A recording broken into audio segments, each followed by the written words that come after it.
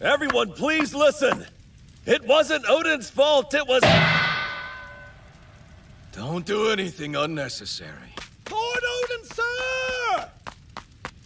From my father, I assume. I'm sorry to give this to you at a time of such revelry. Disavowed, am I? And expelled from the capital, too! Laughable, Shogun. Truly pathetic. So much power, and I'm still too much for you. The capital cannot contain my greatness! Fine, then. I leave at once!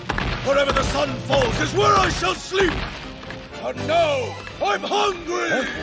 The Mountain God incident marked a new beginning for Oden, who was still quite young at the time.